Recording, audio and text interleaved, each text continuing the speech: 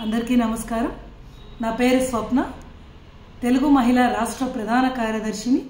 మన జాతీయ అధ్యక్షులు నారా చంద్రబాబు నాయుడు గారికి ప్రధాన కార్యదర్శి లోకేష్ బాబు గారికి ఒక విన్నపం.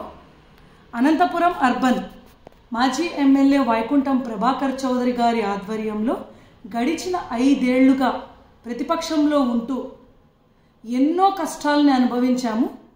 అలాంటి సిచ్యువేషన్లో ప్రభాకర్ చౌదరి గారు ప్రతి ఒక్క తెలుగుదేశం కార్యకర్తకు అండగా నిలుస్తూ పార్టీ ఆదేశించిన ప్రతి కార్యక్రమాన్ని కూడా దిగ్విజయంగా వైకుంఠం ప్రభాకర్ చౌదరి గారి ఆధ్వర్యంలో ముందుకు తీసుకెళ్తూ వచ్చాము.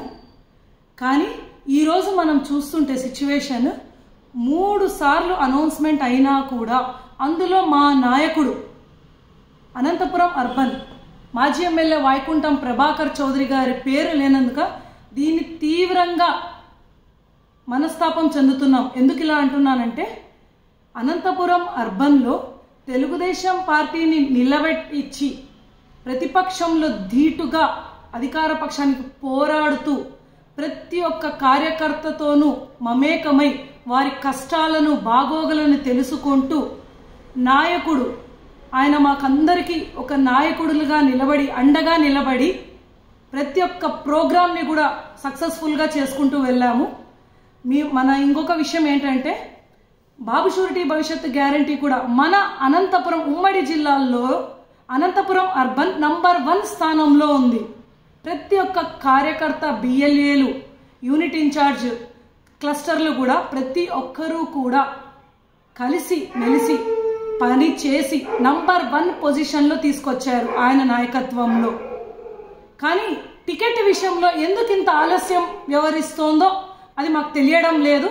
మేము ఒకటే విన్ని వించుకుంటున్నాము. అయ్యా చంద్రబాబు నాయుడు గారికి లోకేష్ బాబు గారికి కష్టపడి పని చేసే వాళ్ళకు గుర్తించి మీరు ముందుగానే టికెట్ అనౌన్స్ చేస్తే రెట్టింపు ఉత్సాహంతో కార్యకర్తలు నాయకులు ప్రతి ఒక్కరూ పని చేస్తారు. ఐదు గడిచిన ఐదేళ్ళ నుంచి ప్రతి ఒక్కరూ కష్టపడి పని చేశారు. కానీ ఇరవై రోజుల నుంచి కూడా ఏమి పని చెయ్యక మా అందరికీ అసలు ఏమి చేయాలో అర్థం కాక పొత్తులు అంటున్నారు. సరే పొత్తులు మంచిదే. మన పార్టీ గెలవాలి. పొత్తులు మీరు పెట్టుకోండి. కానీ అలాగని కష్టపడి పని చేసే నాయకులకు ఎందుకు మీరు ముందుగానే టికెట్ అనౌన్స్ చేయలేకపోతున్నారు? దీన్ని మేము తీవ్రంగా ఖండిస్తున్నాము బాధపడుతున్నాం కూడా.